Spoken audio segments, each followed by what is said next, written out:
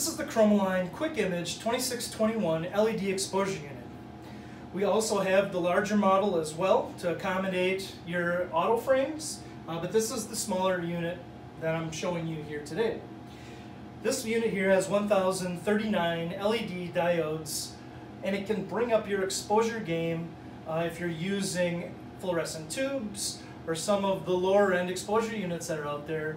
This can bring your exposure game to a professional level and you can have more precise, consistent results with a piece of equipment like this.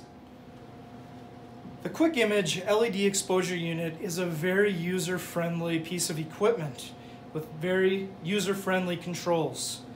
The switch right here just turns the vacuum on and off so you get good contact between the glass, your film, and your stencil. Here's where you would just adjust your time, your exposure times up or down. And once that's set, here's where you would just turn the light on. The countdown, uh, whatever time you have it set, will automatically stop at the time you have set. I'll do a quick little demo here for you right now.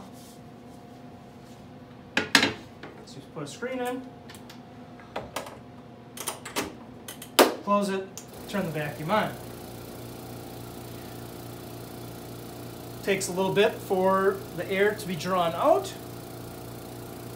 but it's creating a very good, very even drawdown throughout the entire screen.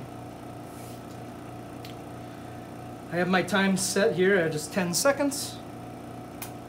Light goes on, you can see the light creeping through the side here so you know it's on. Once it counts down to zero, the light will automatically turn off. Turn off the vacuum, that's all there is to it.